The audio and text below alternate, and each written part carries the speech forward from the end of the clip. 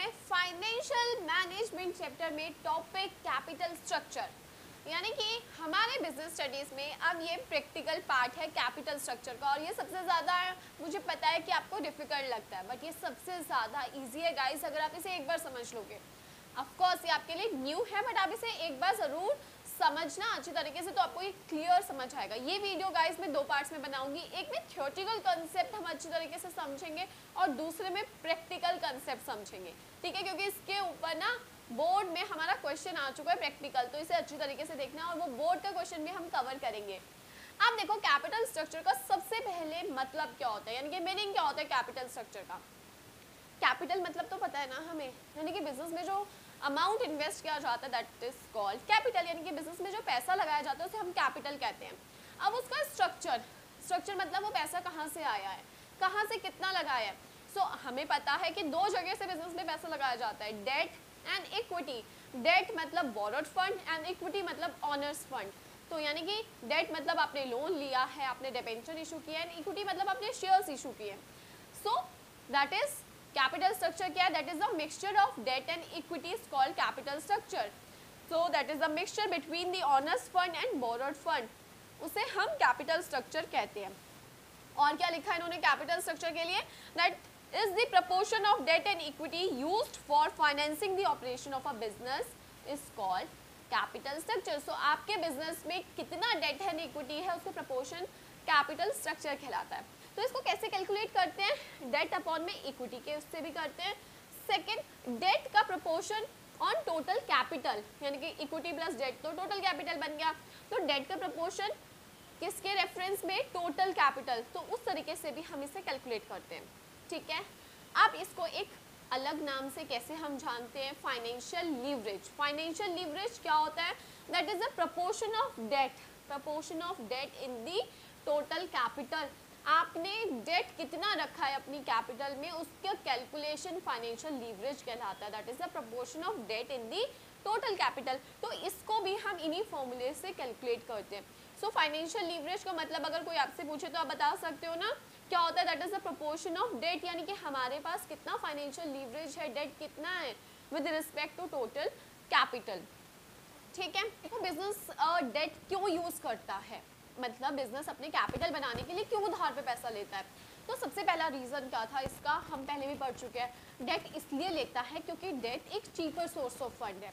सस्ता पड़ता है। उस पर हमें कोई भी टैक्स देने की ज़रूरत नहीं होती। हम पहले इंटरेस्ट पे करते हैं उसके बाद बचे हुए अमाउंट पे टैक्स देते हैं। सो so, एक चीपर सोर्स ऑफ़ फंड है। फिक्स रेट ऑफ़ इंटरेस्ट जो आता है जो कि मिनिमम है। मिनिमम इन द सेंस ये नहीं है कि सस्ता बहुत सस्ता है। लेकिन एक फिक्स्ड अमाउंट है कि आपको इतना देना है। ना वो बढ़ रहा है ना वो घट रहा है। ठीक है? इसलिए ये एक चीपर सोर्स ऑफ़ फंड है, लेकिन इसके पीछे एक और राज है। क्या है? कि इसे यूज़ करने से ना बिज़नेस में शेयर होल्डर्स को फ़ायदा होता है। अब शेयर होल्डर्स को क्या फ़ायदा होता है? शेयर होल्डर्स का जो अर्निंग पर शेयर है, यानी कि शेयर्स पर मिलने वाला उनका पैसा बढ़ जाता है। अब आप बोलोगे, ऐसे कैसे मैम बिज़नेस में डेट यूज़ हो रहा है और शेयर होल्डर्स का क्या फ़ायदा हो रहा है?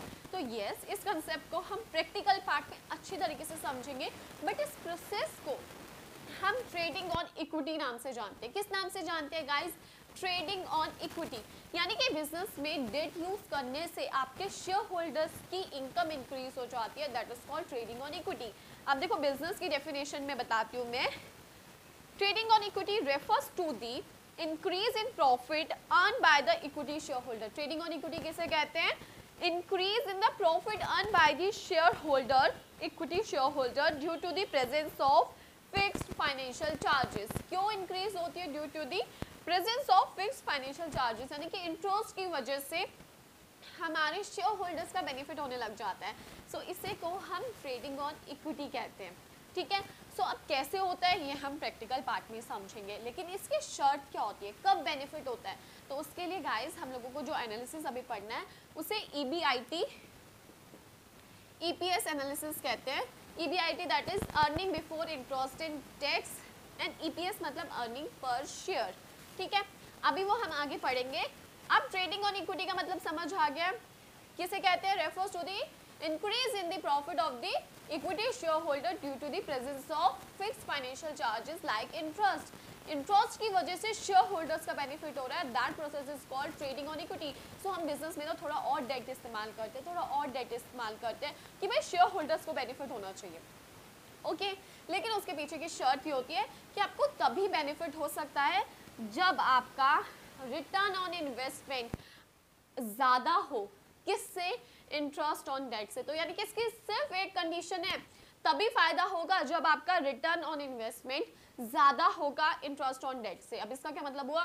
लाइक like, अगर मैं लोन लेती हूँ तो मुझे टेन परसेंट इंटरेस्ट रेट भरना पड़ता है।